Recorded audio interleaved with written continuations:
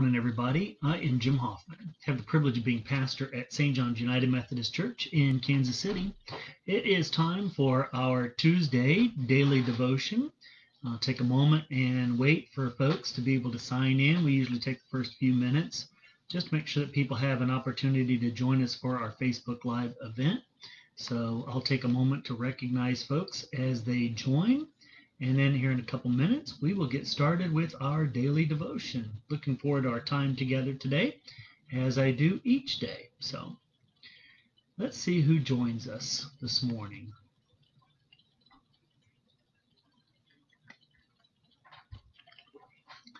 Good morning, Linda.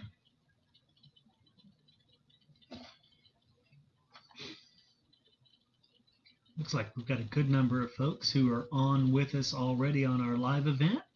See who signs in this morning. Good morning, Garth and Cherry. Hello, Shirley. Good morning to you. Good morning, good morning to you, Barbara Paddock. Glad to see you this morning. Hi, Barbara and Chris Mueller. Glad you are here as well. Good morning, Stacy, and good morning, Diane.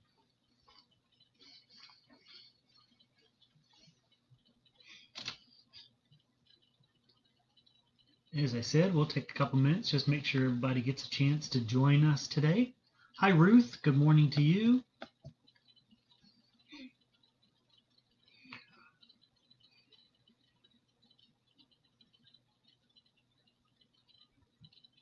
For those of you who have your Bibles handy and you want to find our scripture for today, we are going to be reading out of the Gospel of John, chapter 1. So if you want to look that up on your Bible app or if you have your printed Bible, you can certainly look it up there as well. But John, chapter 1 is where we're going to be reading from. Hi, Jack and Pat. Glad that you have joined us this morning.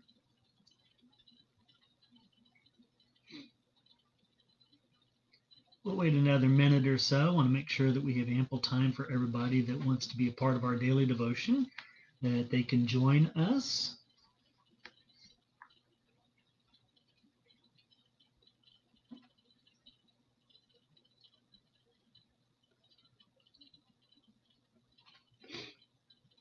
I'm hoping you guys are all having a beautiful Tuesday morning. A little warm outside already, but um, Looks like it's going to be a wonderful day.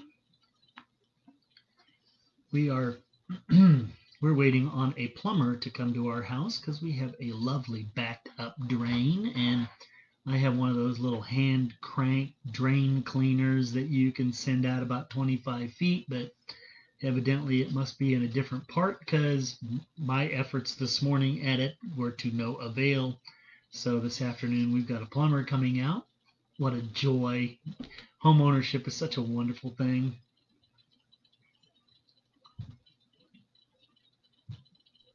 As I said, we're going to be reading from the Gospel of John, chapter 1, beginning in verse 35. So if you want to find that.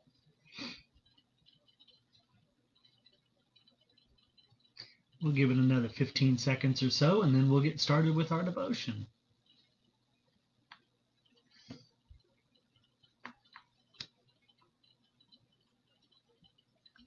All right. So, John chapter 1, verses 35 to the end of the chapter. And here is what it reads It says, The next day John was standing again with two disciples, two of his disciples. When he saw Jesus walking along, he said, Look, the Lamb of God. The two disciples heard what he said, and they followed Jesus. When Jesus turned and saw them following, he asked, What are you looking for? They said, Rabbi, which is translated teacher, where are you staying? He replied, Come and see. So they went and saw where he was staying, and they remained with him that day. It was about four o'clock in the afternoon. One of the two disciples who heard what John said and followed Jesus was Andrew, the brother of Simon Peter. His, he, he first found his brother Simon, own brother Simon and said to him, We have found the Messiah, which is translated Christ. He led him to Jesus. Jesus looked at him and said, You are Simon, son of John. You will be called Cephas, which is translated Peter. The next day Jesus wanted to go into Galilee, and he found Philip. Jesus said to him, Follow me. Philip was was from Bethsaida, the hometown of Andrew and Peter. Philip found Nathanael and said to him, We have found the one Moses wrote about in the law and the prophets, Jesus, Joseph's son from Nazareth. Nathanael responded, Can anything from Nazareth be good? Philip said, Come and see. Jesus saw Nathanael coming toward him and said about him, Here is a genuine Israelite in whom there is no deceit. Nathanael asked him, How do you know me? Jesus answered, Before Philip called you, I saw you under the fig tree. Nathanael replied, Rabbi, you are God's son. You are the king of Israel. Jesus answered, Do you believe because I told you that I saw you under the fig tree? You will see greater things than these. Our devotion is written this morning by Colin Harbach he is from England, and his focus verse was day by day the Lord added to their numbers those who were being saved. Acts chapter 2, verse 47 from the NRSV. Here's his thought for today. He says, Since my early mathematics classes, I have been intrigued by the number one. By itself, it is weak and powerless. Even when it is multiplied by itself, it retains the same value but in its relationship with other numbers, it becomes powerful. Even the greatest number increases when this small number is added to it, and when a critical decision has to be voted on, one vote can make all the difference. I find this to be an important comment on Christian life and the growth of the church. When I look at the first church, I notice that its growth is not spoken of as multiplication, but rather addition. The Gospels tell us how Jesus called his disciples personally, one by one, and their number grew as each responded to Jesus' invitation to follow him. When each of us follows Jesus, we are given the grace to contribute to the growth of God's kingdom. And his thought for the day is In God's kingdom, I am never alone. And we um, think of this primarily in the aspect of what it means uh, for evangelism, uh, you know, the lovely little word in the uh, in the uh, English lexicon and in the church's lexicon that uh, some of us don't really want to hear about or, or have kind of a, a connotation or an idea about when it means to evangelize. Uh, what it means basically for us to evangelize is simply just to share the good news. Now, notice Jesus didn't say, Come and listen to me. He said, Come and see. And so, in many ways, I think the proclamation of the gospel is in what people see, not what people hear. Right? Most of us think of the gospel as something that is shared orally in our, you know, questions. Do you know Jesus as your Lord and Savior? You know, those kinds of things. But what if the transmission of the gospel is more in activity than it is in oral proclamation or just word.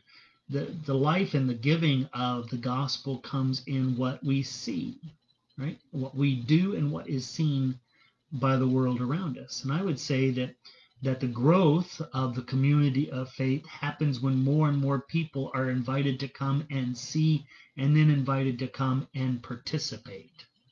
They come and participate in the activities and the life of a community that is trying to figure out how to make a difference in the world in which it lives. How we live out through acts of kindness and acts of love, mercy and justice. How we proclaim a social holiness that is also a, a uh, personal holiness and a personal holiness that is also a social holiness. We marry those two things together. So think about for yourself what you're planning on or what you're doing and what you're involved in that invites others to come and be witnesses, come and see, and then maybe come and participate. Um, I think of uh, folks like um, Linda, who um, invited some of her sorority sisters to come and see what happens at Baby Grace. And now some of them have become uh, part of that and have served in in various capacities, right? Others who have maybe extended family members that are a part of different activities that we, the church, are doing. You think about what's going on with our online services today. You know, I, I notice in in our time together here and in our time together on Sunday mornings, there are people who are new to this, new to St. John's. They're not part of our our normal community of faith that we would have seen on a Sunday morning. They're new to us in this online venue and time, and they are coming to see what we are about and the invitation to also participate in the things that we do. Right? Think about the ways in which we can continue to share that with those that are in the world around us, how we can invite others to come and to see, to come and to participate. I'm going to share with you one particular thing that you might think about um, as a community and maybe think about getting involved in and maybe inviting some others to come and see as well. Uh, on Facebook earlier today, I posted something uh, on my news feed, excuse me, and it has to do with a, a uh, community time of prayer. Faith communities have been trying to figure out how to respond to all that is going on, particularly when it comes to the issue of divide based upon race and economics and things like that. Uh, Adam Hamilton was talking about the fact that he was at one of the rallies last weekend down at the plaza area. He wore his name tag to let folks know that he was Adam Hamilton from Church of the Resurrection and most people wouldn't know who he is that might have been down there. But but one person said to him that it's interesting that the church has been absent from many of the protest rallies and things like that. And, and the guy thought it was kind of curious. And Adam was just there, you know, proclaiming and, and listening to what was going on and listening to the grievances and things like that. That was his his whole goal in being there and then being supportive is what he told all of us in a, in a recent clergy group meeting. Um, one of the things that, that the church is trying to do is fi- figure out as a community, and I'm talking about the church big in the Kansas City metropolitan area, not just St. John's.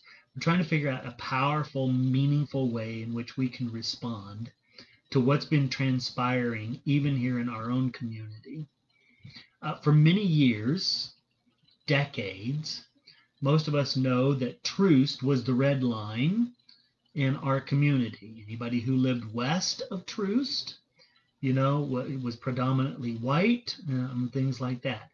People who lived east of Troost were primarily people of color, and you didn't cross those lines. You didn't try to move um, across those lines and different things like that. You didn't do business, all of that. It was the red line in this in the city a group of clergy on um, Troost uh, that have have uh, operated different houses of worship up and down the Troost area have formed a coalition and a group uh, that are going to get together on this Friday evening at seven o'clock, and they're just going to invite people to stand along Troost with a sign, maybe a Bible verse.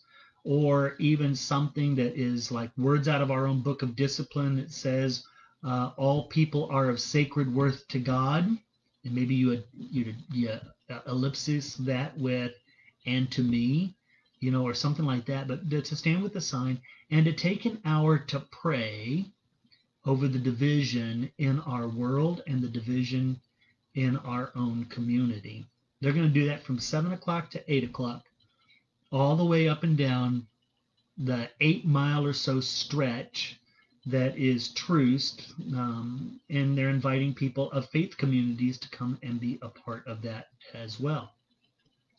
I unfortunately have another commitment Friday night that I had already said yes to. This came uh, much later than than um, this other commitment, and so I unfortunately will not be able to be there. But I want to encourage folks from St. John's to think about that as an opportunity to be a part of and maybe invite some of your friends that want to do something constructive to be a part of this conversation invite them maybe to go with you. And you don't have to stay for the whole you know the whole hour. Maybe you go for 15 minutes and you find a corner and you pause and you pray. Or maybe you go for 30 minutes or something like that. And maybe you organize as a group.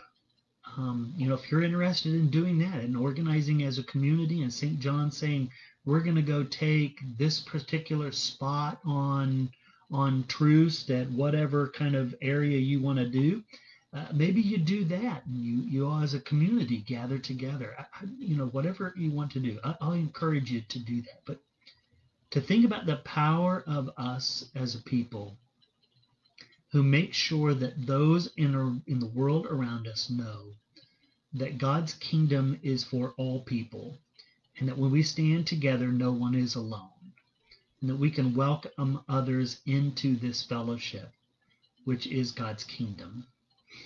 I want to invite you to think about, you know, what powerful, meaningful way can you be a part of the addition to God's kingdom, and how you are sharing the message of God's love with others, maybe as an activity, not just as an oral proclamation.